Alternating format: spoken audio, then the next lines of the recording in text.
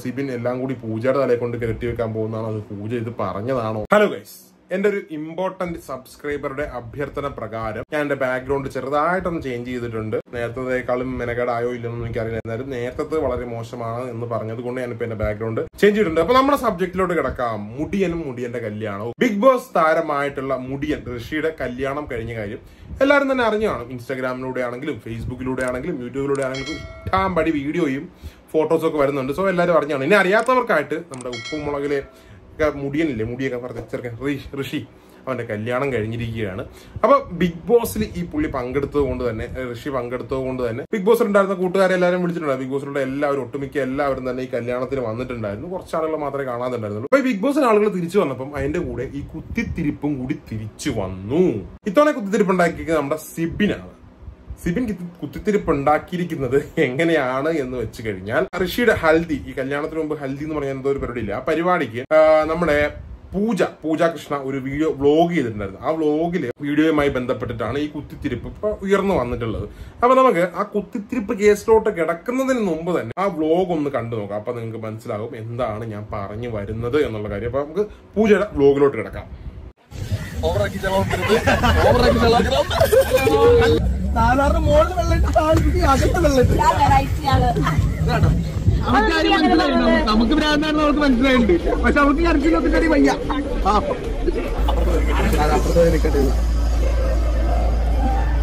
ശരിയല്ലേ അവൻ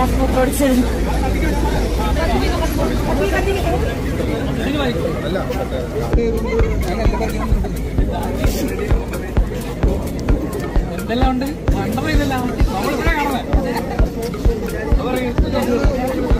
ഇത് അതിന്റെ കണ്ടത് ഓക്കെ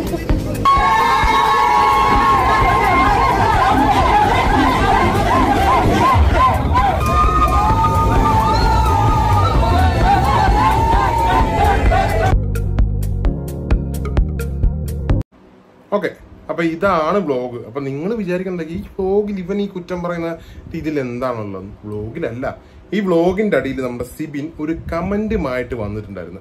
ആ കമന്റിലാണ് പ്രശ്നങ്ങൾ കിടക്കുന്നതും കുത്തിത്തിരിപ്പുള്ളതും. നമുക്ക് ആ കമന്റ് ഒന്ന് വായിച്ചു ഇതുപോലെ കുത്തിത്തിരിപ്പുള്ള ഒരാളെ ഞാൻ എന്റെ ജീവിതത്തിൽ കണ്ടിട്ടില്ല. ആരാ?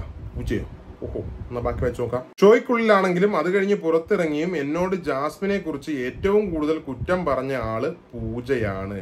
അപ്പൊ പൂജ പറയുന്ന കേട്ടിട്ടാണ് സിബിൻ ഈ ലൈവ് ഇട്ടതും വീഡിയോ ആയിട്ടൊക്കെ വന്നതും. ജാസ്മിനെ പറ്റി എല്ലാ പരിപാടി പറഞ്ഞതും പൂജ പറഞ്ഞിട്ടാണെന്നാണ് സിബിൻ ഇപ്പൊ പറഞ്ഞു വരുന്നത്. ബാക്കി വായിച്ചു നോക്കാം.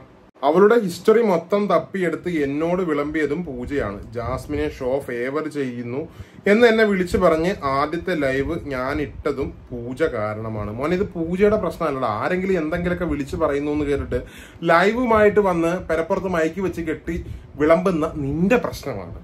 ആരെങ്കിലും എന്തെങ്കിലുമൊക്കെ പറയും. അതിങ്ങനെ വിളിച്ചു പോവരുത് മോനെ. അതിൽ എന്തെങ്കിലും സത്യമുണ്ടോ എന്നൊക്കെ നമ്മൾ തിരക്കണം. എന്നിട്ടേ വിളിച്ചു കൂവാവൂ. അല്ലെങ്കിൽ ഇങ്ങനെയൊക്കെ ഒരു പ്രശ്നങ്ങളുണ്ട്. അല്ലെങ്കിൽ ഇപ്പൊ ഈ വിളിച്ച് പറയുന്ന ആൾ എന്തെങ്കിലും അപ്പുറത്തെ വശത്ത് പോയി ഒട്ടും എന്നുള്ളതൊക്കെ നമ്മൾ മനസ്സിൽ കാണണം മനെ മനസ്സിൽ കാണണം. അല്ലെങ്കിൽ ഇതുപോലത്തെ സങ്കടങ്ങൾ വരും പിന്നെ നമ്മൾ കമന്റ് ഇടേണ്ടതായിട്ട് വരും. അപ്പൊ എന്തായാലും പൂജയുടെ പേരിലാണ് ഇപ്പൊ മൊത്തം വന്നിരിക്കുന്നത്.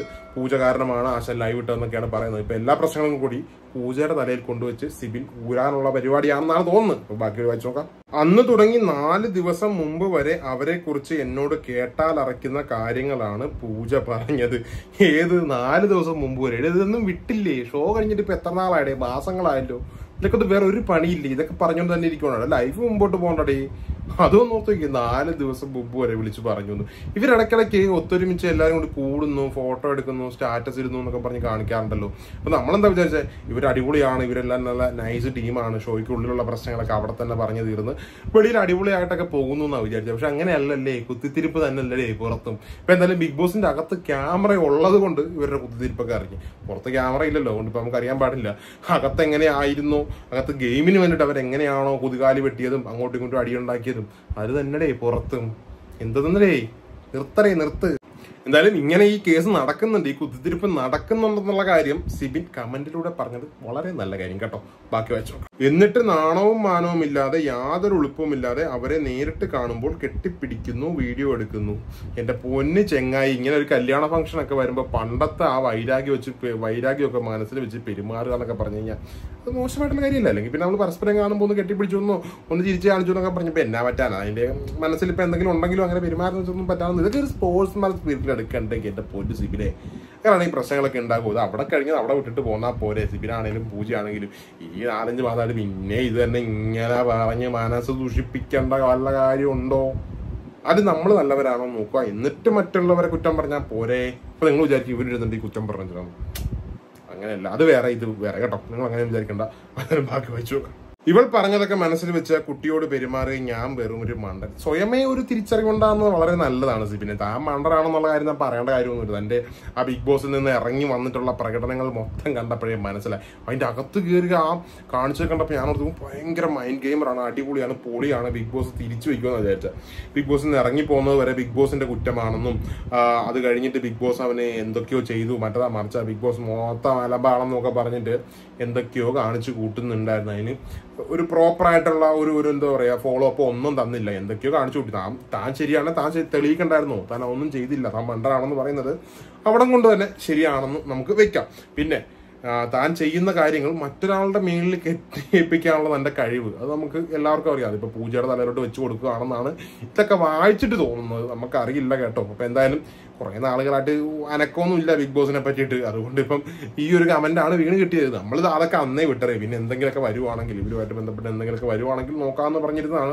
ഇപ്പോഴാണ് ഇങ്ങനെ ഒരു കാര്യം വന്നത്. അതുകൊണ്ട് പറഞ്ഞു എന്നേ ഉള്ളൂ. എന്തായാലും കൂടി നോക്കാം. പ്രൊഫഷണൽ ബെനിഫിറ്റ് എന്തിന്? ഗബ്രിയെ കുറിച്ച് ഈ അടുത്തും പരദൂഷണം പറഞ്ഞു എന്നോട്. അതിപ്പോ എന്തുവാ? ഈ സൂപ്പർ മാർക്കറ്റിലേക്ക് ഓഫർ അല്ലേ? ബൈ വൺ ഗെറ്റ് വൺ എന്ന്. ജാസ്മിനെ കുറിച്ച് പറയുമ്പോൾ ഗബ്രിയെ കുറിച്ചും പറഞ്ഞല്ലോ. ജാസ്മിനെ എടുക്കുമ്പോൾ ഗബ്രി ഫ്രീ എന്നുള്ള രീതിയിൽ പറയുന്നതാ. അല്ലാതെ ഇപ്പൊ അതിൽ വലിയ കാര്യമൊന്നുമില്ല. ഇതൊക്കെ സത്യമാണെന്ന് ഞാനും വിശ്വസിച്ചു. ബി ബി ഹൗസിൽ അർജുനെ കുറിച്ചും എന്നോട് മോശമായി എന്തൊക്കെയാണ് ഇവൾ പറഞ്ഞത്? അത് മനസ്സിൽ വെച്ചാണ് ഞാൻ അവനോട് അകത്ത് വെച്ച് പെരുമാറിയത്. താനത് സത്യമാണെന്ന് വിശ്വസിച്ചത് ഇപ്പൊ എന്താ പറയാ? ഒരാളെ കണ്ണടച്ച് വിശ്വസിക്കാൻ പാടില്ല. അവർ പറയുന്നതൊന്ന് ചെക്ക് ചെയ്തിട്ട് വേണം നമ്മൾ വിശ്വസിക്കാൻ. എത്ര അടുത്ത സുഹൃത്താണെങ്കിലും നമ്മളൊന്ന് ചെക്ക് ചെയ്യാം. ഇപ്പം പറയുന്നത് ശരിയാണോ? എന്നെ കൊണ്ട് പെടുത്താൻ വേണ്ടിയിട്ടാണോ എന്ന് ചെക്ക് ചെയ്യുന്നത് വളരെ നല്ലതായിരിക്കും. ഇപ്പൊ നമ്മൾ ജീവിക്കുമ്പോൾ ജീവിതത്തിൽ നിന്ന് കിട്ടുന്ന ഒരു പാഠമായിട്ട് അതിനെ ഉൾക്കൊള്ളണം. നമ്മളെ പലരും നമ്മുടെ കൂടെ നിൽക്കുന്നവർ ചതിക്കാൻ ശ്രമിക്കും പറഞ്ഞ് പറ്റിക്കാൻ ശ്രമിക്കും. നമ്മൾ അതൊന്നും വിശ്വസിക്കരുത്. നമ്മൾ അതിനെ ചെക്ക് ചെയ്തിട്ട് വേണം നമ്മൾ ഒരു തീരുമാനമെടുക്കാൻ. പിന്നെ അർജുന്റെ കേസ്. അർജുനെ കുറിച്ചിട്ട് ഇപ്പൊ ബിഗ് ബോസിൽ നീ നീ മാത്രം അല്ലെങ്കിൽ പൂജ മാത്രമല്ലല്ലോ കുറ്റങ്ങൾ പറഞ്ഞിട്ടുള്ളത് ദുഷിപ്പ് പറഞ്ഞിട്ടുള്ളത്. പലരും പറഞ്ഞിട്ടുണ്ട്. അതൊന്നും വലിയ കാര്യമുള്ള കാര്യമൊന്നുമല്ല. ബിഗ് ബോസ് അത് പറയുന്നത് കുത്തിത്തിരിപ്പും അടി ഇടിയും ബഹളമുള്ള കാര്യമാണെന്നുള്ള കാര്യം ആദ്യം നീ മനസ്സിലാക്കണമായിരുന്നു. എന്നിട്ട് വേണമായിരുന്നു അല്ല ഇവിടെ. ഏ എന്തുപോലെ ബാക്കോട്ട് നോക്കാം. ഞാൻ പൂജയെ ഒത്തിരി വിശ്വസിച്ചു. പല കാര്യത്തിൽ. എന്നാൽ സ്വന്തം ലാഭത്തിന് വേണ്ടി എന്നെ കുരുതി കൊടുക്കുകയായിരുന്നു. പണ്ടും എന്റെ പ്രശ്നം ഇത് തന്നെയാണ്. സൗഹൃദത്തിന് വില കൊടുക്കും. അവരെ കണ്ണടച്ച് വിശ്വസിക്കും എന്നെ. അടപടലും പൂജ ചതിച്ചു.